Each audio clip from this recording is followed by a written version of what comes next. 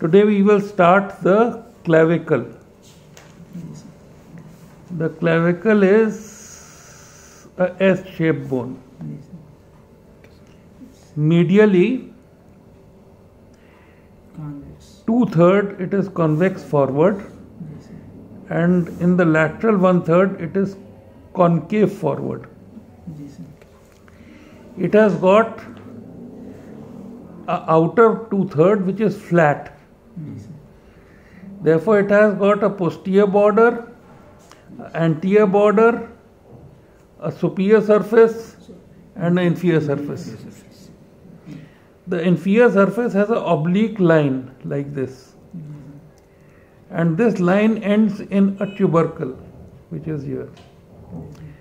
This is called as the trapezoid line because it is directed anterior and external. It is directed anterior and external. You remember it by saying T R A E. All right, trapezoid. Yes. So AE is anterior and external. Yes. From this tubercle starts the inferior border of the clavicle. So that if you cut a section here, you will get a flat bone. But if you cut a section here, you will get a triangular bone because it, it has got an inferior border. Yes. So therefore, the inferior surface will be divided into antero-inferior, antero-inferior, and postero-inferior. Okay. Now, as this border approaches the medial side, it gets divided into a groove. All right, and therefore, this groove is called as the subclavian groove. All right, and from here you can see the antero inferior surface. So these are the general characteristics of the bone. Okay. Now, this clavicle would articulate with the manubrium sterni, and below it would be the notch where the first rib will articulate. Yes. This will be the suprasternal notch, which we can feel in your in your neck, Neck. Yes, and this will be for the other clavicle. Okay, Yes, and then there will be this notch, and finally the sternum would end in the manubrium sterni, and there will be the body of the sternum. Okay. So, these are the general features of the clavicle. Okay, these are the General features. general features of the clavicle. Now, we will talk of the articulations. We will talk of these joints. On this side is the sternoclavicular joint, and on this side there is the acromion process. So there is the acromioclavicular joint, and here you have the acromioclavicular capsule. Yes, The sternoclavicular joint is much more complex.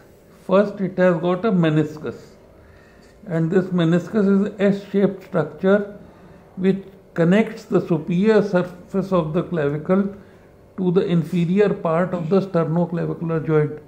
And this meniscus, since it's like this, it prevents the clavicle from going upwards. So, if the meniscus is torn, only then there can be a sternoclavicular dislocation. Then there is outside the meniscus there is the capsule.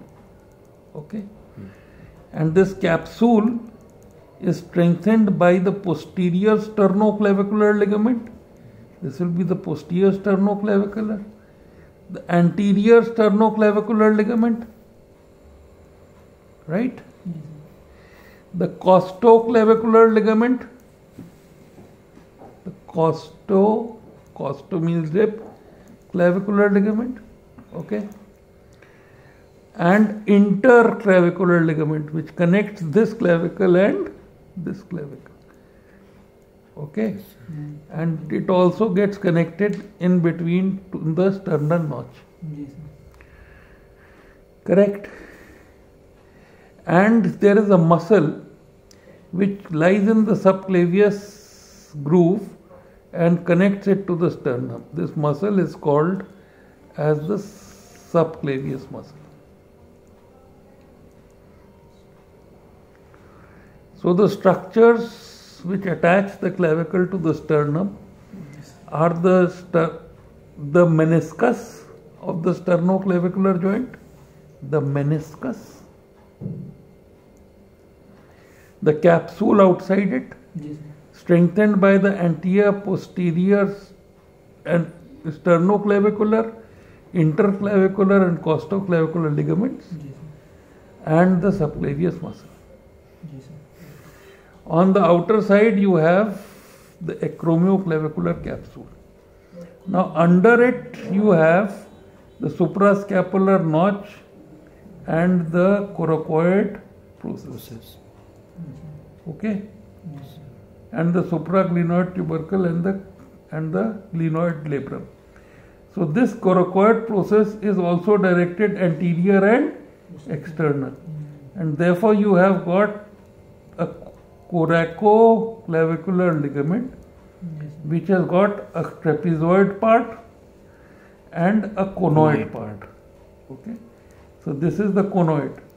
Cone it's like a cone? Yes, and this is the trapezoid. Yes. trapezoid. So this is the coracoclavicular ligament. okay? Now we will see what is attached to the posterior border. What is attached to the anterior border and what is attached to the remaining of the inferior border. Okay. So on the outer third of clavicle is attached the trapezius muscle which connects it to the neck. So this muscle is called as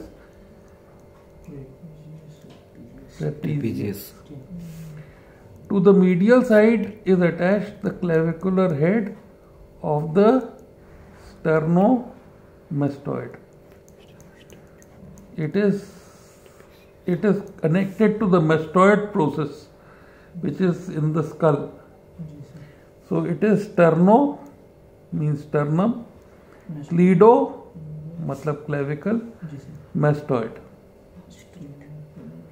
Okay, so there is a a mastoid muscle and between this and this is attached the deep fascia of the neck. Fascia of the neck. neck. Okay? So all this is attached here, the deep fascia of the neck. And the clavicle, the sternomastoid, and the trapezius. These form the posterior triangle of neck. Okay? Yes sir. Now let us see what is attached to the inferior border. So if the clavicle is like this all right. It is a triangular bone okay? Then I have told you if this is the posterior border, if this is the posterior border, this is the anterior border, and this is the inferior, Inferior. border. Then the first, the deep fascia is attached, deep fascia of the neck is attached to the posterior border. Okay, the deep fascia is attached here. Then it will go around the clavicle. Then it will encircle the Clavicle. And then it will arise again from its inferior border. Okay, so it will encircle the clavicle like this, and then it will arise from its inferior border. Okay, so from the coracoid, you know that there is a muscle which goes to the chest wall, which is called as pectoralis minor, which is called as pectoralis minor. So this fascia which is the deep fascia of the neck, continues below the clavicle and goes on to attach the pectoralis minor. So it is called as clavipectoral fascia. It is called as clavipectoral fascia. Then what will happen? It will encircle, this will encircle the pectoralis minor and it will come here. So there will be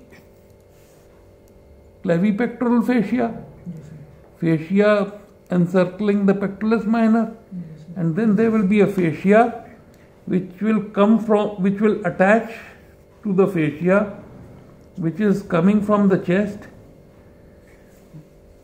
going on the axilla and going into the arm. So this fascia, this part of the fascia suspends this fascia. And this fascia is called therefore is called as the suspensory ligament of suspensory ligament it is also called as suspensory ligament okay? Because it is suspending the axillary fascia. It's giving it the shape before it goes into the fascia of the arm. All right. Now this clavipectoral fascia is pierced by four structures. One is the cephalic vein. The second is the thoraco acromion artery. The third is the lateral pectoral nerve and the fourth is lymphatics. From breast. From this. okay? So this is clavicle. I want you to learn this clavicle today Yes, sir.